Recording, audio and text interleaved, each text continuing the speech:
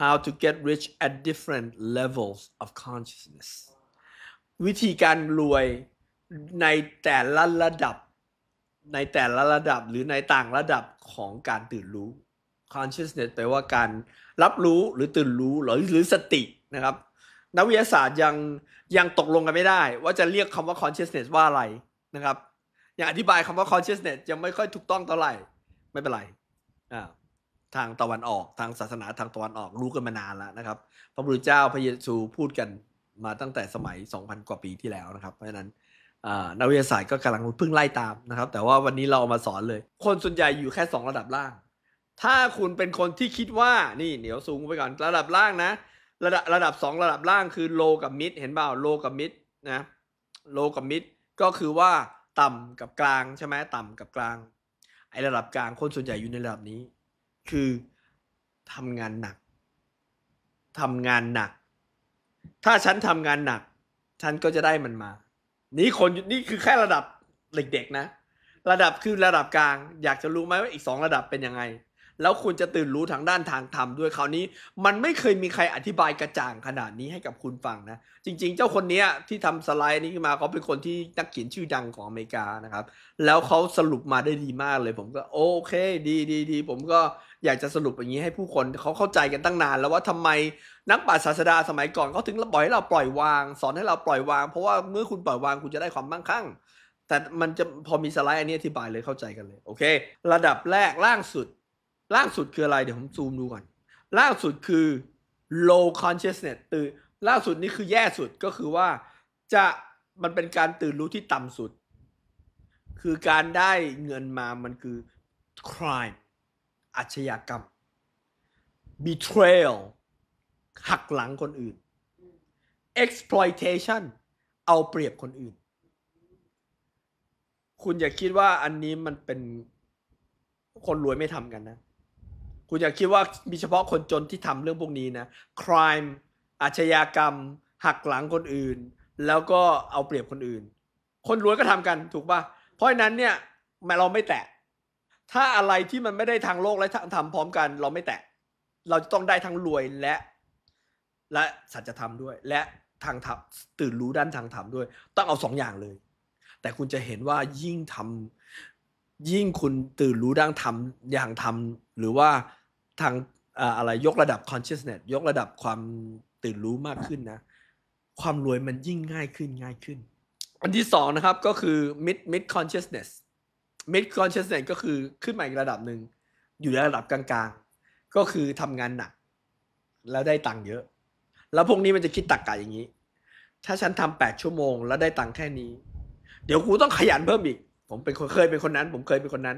ต้องขยันเพิ่มอีกทำงานสิบหกชั่วโมงแม่งเลย ผมเคยนะทำงานสิบห้าชั่วโมงต่อวัน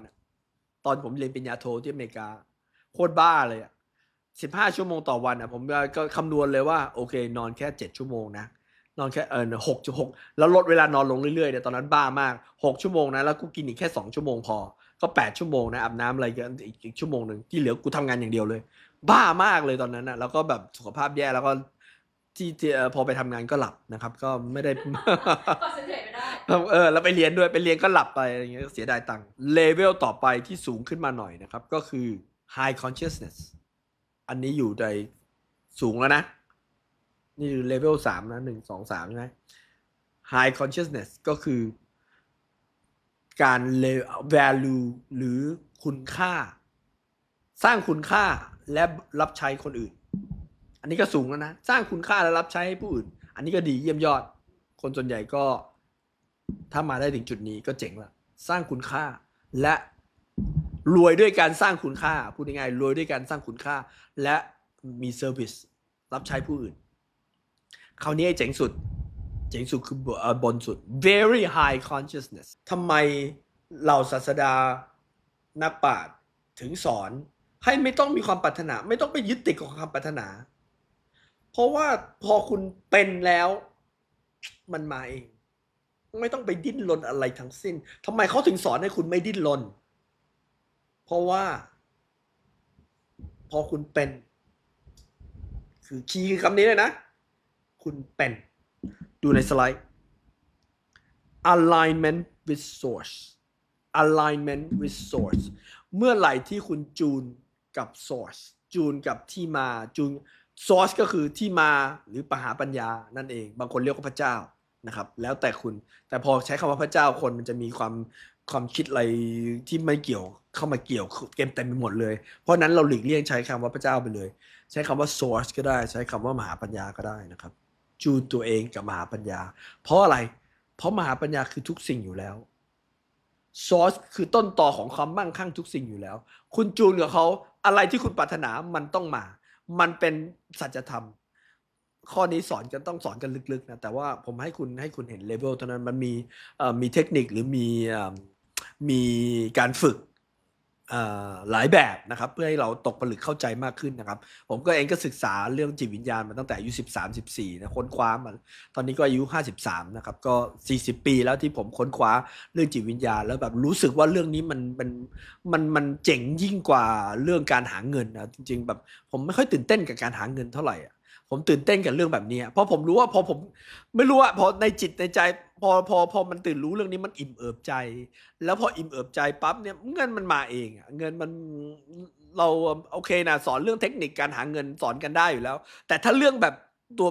ตัวคนนั้นน่ะไม่มีการตื่นรู้ ไม่มีความ high consciousness เงินยังไงมันก็มาแล้วก็หายไปอะแล้วก็อีกอย่างหนึ่งนะ ในในระดับที่สี่เนี่ย ในระดับที่สี่ในระดับบนสุดเนี่ย คุณทำแล้วคนมีความสุข มันเป็นตัวตนของคุณ และอย่างหนึ่งเราไม่ต้องอีกที่ผมอยากจะเตือนทุกคน เพราะว่าคนส่วนใหญ่ชอบมองออกไปข้างนอกมองออกไปข้างนอก หมายความว่าไปมองคนโน้นคนนี้ แล้วมาตรรกะในหัว ว่า เฮ้ย ที่เห็นคนนั้นน่ะแม่ง รวยจะตายมันไม่เห็น มันไม่เห็นทำความดีอะไรเลย มันไม่เห็นแบบเออ service คนอื่น ไม่เห็นรับใช้ผู้อื่นไม่เห็น ไม่เห็นสร้างคุณค่าอะไรเลย มันโกงกินอะไรไม่ต้องไปดูข้างนอกคุณไม่รู้หรอกว่าความสุขของเขาบางคนมันไม่มีความสุขทั้งชีวิตอะบอกได้เลยคุณนะวัดวัดความสุข เราวัดความรวยของคนน่ะด้วยความสุข ความมั่งคั่งของคนที่แท้จริงคือความสุขสงบใจจำไว้เลย ความมั่งคั่งของคนที่แท้จริง คือความสุขสงบใจ สมัยก่อนผมก็เคยนั่งสิบปีที่แล้วก็เคยดูว่าเออใครรวยที่สุดในประเทศไทยหนึ่งในสิบใครรวยที่สุดในโลกหนึ่งในสิบ อนนี้ผมเลิกดูไปแล้วไม่ไม่สำคัญเลยบอกได้เลยมันไม่มีค่าอะไรทั้งสิ้นเลยเรื่องแบบนั้นนะที่สำคัญคือถ้าเกิดเมื่อไหร่มันมีวัดว่าใครมีความสุขมากที่สุดในโลกตอนนั้นผมถึงสนใจ เพราะความมั่งคั่งที่แท้จริงนะของของโลกของคุณคือความสุขจำไว้ความสุขและความสงบใจ ถ้าคุณมีเงินเยอะมากมายมีเงินแล้วเหลือแปดแปดหมื่นล้านแสนล้านร้อยล้านเออกี่ล้านก็ตามแต่ ร้อยร้อยล้านเหมือนอีลอนมัสอะไรก็แล้วแต่ แต่วันๆมีแต่อารมณ์โกรธ อารมณ์ขุนเคือง อารมณ์ทะเลาะกับคนอารมณ์อารมณ์ไม่สบายใจ คุณถือว่าเป็นคนรวยมันจะคุ้มเหรอ จริงว่ามันไม่คุ้มเลยนะจำไว้เลยความมั่งมาตรวัดความมั่งคั่งที่แท้จริง คือความสุขสงบใจของคุณเอง และเรื่องนี้ไม่เกี่ยวกับคนอื่น คุณคุมได้ร้อยเปอร์เซ็นต จำไว้นะ คุณคุมได้ร้อยเปอร์เซ็นต์นี่เป็นเหตุผลนะครับ ที่ผมจะทำอยากทำคอร์สชื่อว่าคอร์สช่างแม่ง คอร์สช่างแม่งนี้เป็นคอร์สที่แบบอะไรอะคอร์สที่สอนสอนเรื่องการปล่อยวางที่แท้จริง ปล่อยวางคำพูดของคนอื่น ปล่อยวางปัญหาไว้ ปล่อยเพราะเมื่อไหร่ที่คุณปล่อยวางปัญหาได้ มันจะคลี่คลายด้วยตัวของมันเอง คนส่วนใหญ่พยายามแก้ปัญหา ยิ่งคุณมุ่งแก้ปัญหามากเท่าไหร่ มันยิ่ง ขยายผลมากเท่านั้น เพราะว่าอะไรที่คุณโฟกัสมันจะใหญ่ขึ้น เวลาคุณอยากจะแก้ปัญหาอะไรคุณจะต้องถอนตัวออกมาจากตรงนั้นหน่อย ยกระดับจิตใจของคุณยกระดับ consciousness ยกระดับการตื่นรู้ขึ้นมานะครับ ยกระดับนี่เป็นเหตุผลที่ผมอยากจะทำแคมป์นี้ใช่ไหมคอร์สชื่อว่าแคคอร์สช่างแม่งนะครับคอร์สช่างแม่งแล้วทำเป็นแคมป์ด้วยนะครับ ใครใครมาไม่ได้ก็เรียนเป็นคอร์สนะครับคอร์สชื่อว่าคอร์สมีโปสเตอร์ป่ะเอาโปสเตอร์เข้าหน่อย เออ วันนี้คนมาดูเยอะเว้ย คนมาดูเยอะ มาตรวัดความจำไว้ มาตรวัดความมั่งคั่งที่แท้จริง คือความสุขสงบใจแคมป์ช่างแม่งนี่ครับ ผมกับแมรี่จะมาช่วยสอนนะครับมาสอนผมมามาสอนเป็นหลัก แล้วก็แมรี่มาช่วยสอนบางครั้งนะครับ แล้วก็วันที่หนึ่งก็จะมีพอลล่ามาช่วยสอนด้วยนะครับ พอลล่าพอพอลล่าซุปตาของเรานะครับพอลล่าซุปตาที่เขาจะมาช่วยสอนที่นั่งอยู่นี่นะครับ แล้วก็เอ่อคุณจะได้เจอซุปตาหลายคนนะครับ แคมป์ช่างแม่ง ใช่ ช่างมันนะถ้าจะพูดเพราะๆหน่อยก็ช่างมันเถอะช่างพูดเพราะๆหน่อยก็ช่างมันเถอะแต่ว่าช่างแม่งมันสะใจดีอะนะแล้วก็แต่จริง ๆ แล้วมันคือการสอน detachment แล้วที่ผมจะสอนก็คือ power of allowing นะครับ การการ allow การอนุญาตนะ ครับการอนุญาตให้สิ่งสิ่งที่สิ่งที่สิ่งให้คนอื่นเขาเป็นตัวของเขาเอง แล้วเราก็เป็นตัวของเราเองแล้วแล้ว power มันอยู่ตรงนี้ เวลาคุณอนุญาตให้จักรวาลทำงานคีย์คือคำนี้เลยนะอนุญาตให้จักรวาลทำงาน เราไม่ต้องไปยุ่งเยอะ เราไม่ต้องเราแค่ set intention เราแค่ตั้งสติแล้วตั้งความตั้งใจ แล้วอนุญาตให้จักรวาลทำงาน จริง ๆ แล้วคนส่วนใหญ่เนี่ยไม่เข้าใจเรื่องนี้เลย นี่เป็นเหตุผลต้องมีการ training นะครับแคมป์ช่างแม่งนะครับ ทุกคนเหลืออีกแค่ 2 ที่นั่งที่ราคา 99,000 บาทนะครับ แล้วก็ราคาเต็ม 2 9 0 0 0ถ้ามาเจอกันเจอตัวนะครับ รับแค่ 10 คนนะเหลืออีก 2 ที่นั่ง 99,000 บาทนะครับเรียนออนไลน์ 39,000 บาทนะครับแคมป์ช่างแม่งรีบลงทะเบียนจะเต็มแล้วนะครับ วันที่31สิงหาและ 1 กันยานะครับ31สิงหาและ 1 กันยาเราเจอกันนะครับ คุณจะได้ power เป็น high level get rich แบบรวยแบบรวยแบบ high level of consciousness รวยแบบสูงสุดของการตื่นรู้นะครับ วันที่ 31 สิงหาและวันที่ 1 กันยานะครับ เรียนย้อนหลังได้ถ้าใครเรียนอยากจะได้ราคาพิเศษนะครับในการเรียนออนไลน์ 39,000 บาท และถ้าเกิดรีบลงทะเบียนวันนี้นะครับ 99,000 บาทเหลือแค่ 2 ที่นั่งนะครับ แล้วก็หลังจากนั้นจะเป็นราคา 169,000 บาทนะครับสำหรับ 2 วัน เรารับกันแค่ 10 คนนะครับ แล้วคุณจะได้กลับไปอย่างคุ้มแล้ว ใครมีปัญหาอะไรมาปรึกษาได้นะครับ สามารถที่จะได้ private coaching mini private coaching เล็ก ๆ นะครับ กับผมหรือแมรี่นะครับสามเอ็ดสามเอ็ดสิงหากับ 1 กันยานะครับ